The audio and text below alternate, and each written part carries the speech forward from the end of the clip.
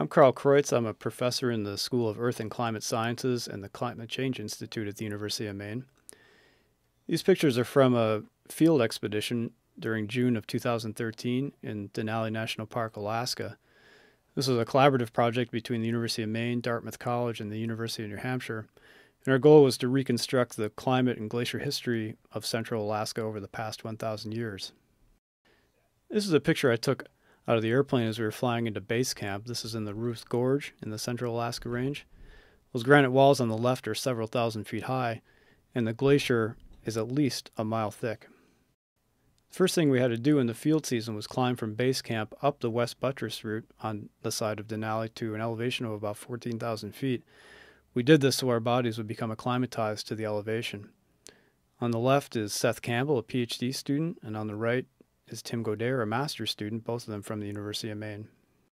This is Mike Waszkiewicz. He's the person responsible for drilling the ice cores on the trip. Here he's doing one of our daily camp chores and melting snow for drinking water and also cooking breakfast, lunch, and dinner. This is a spot known as Windy Corner on the West Buttress route. As the name suggests, the wind is often roaring through here, and you can see how the snow has been scoured off the rocks. Ironically, on the day we climbed through here, and when I took this picture, it was almost dead calm. This is a picture at 14,000 feet of a famous spot called Edge of the World.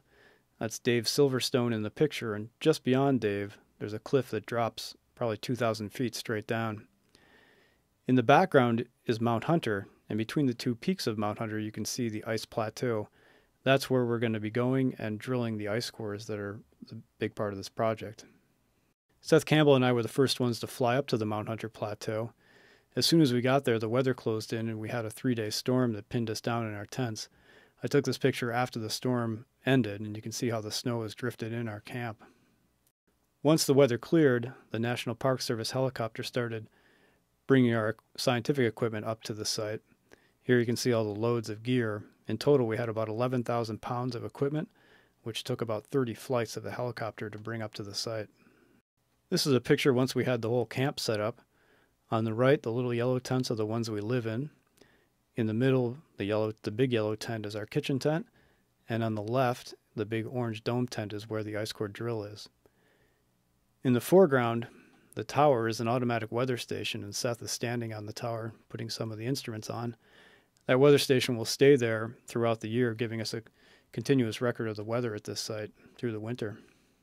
For perspective, here's a panoramic picture, including the drill site on the Mount Hunter Plateau, Mount Hunter itself in the background, which is about 14,000 feet at the top, Denali at 20,000 feet on the right, and Mount Foraker at 17,000 feet on the left. The ice core drill that we use is powered by electricity, and to generate the electricity in the field, we use renewable energy sources. You can see the solar panels in front of the kitchen tent on the right, and we also had a wind generator. Both of those we used in combination to power the drill. This is a picture looking inside the drill tent. That's Mike on the left and Brad Markle, a graduate student from the University of Washington on the right. You can't see the drill, but it's at the end of the cable that's stretching down into the drill hole. Each time the drill comes up, it recovers a piece of ice that's 3 inches in diameter and about 3 feet long. Once the ice core is on the surface, we do some quick measurements on it and then package it up in plastic. The ice cores are then put in these insulated shipping containers, and those are the boxes that the ice travels in as it goes from the drill site all the way back to our university laboratories. This is a picture of the last ice core recovered. This was the piece of ice that was sitting at the bottom of the glacier right on top of the bedrock. So this is at a depth of about 700 feet in the drill hole. We estimate that the age of this ice is about a thousand years. Once the drilling was done and the ice cores were all packed up in their boxes, they were first transported by helicopter and then by the airplane you see here all the way back to the town of Talkeetna. In Talkeetna, they were put into freezer tractor trailers and shipped back to the universities. In the field, when there's ice crystals in the atmosphere and the sun is shining on those, you get a phenomenon known as sundogs. You can see a sundog here, the halo that's around the sun that looks almost like a, rain, a round rainbow. Another common thing that we saw were lenticular clouds. This happens when really strong winds are blowing over the, the tops of the mountain. Here's Mount Foraker in the background with a nice lenticular cloud formed on the top of it.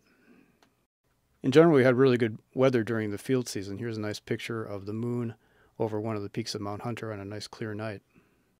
We'll probably be working on the ice cores that we brought back from this site for the next couple years.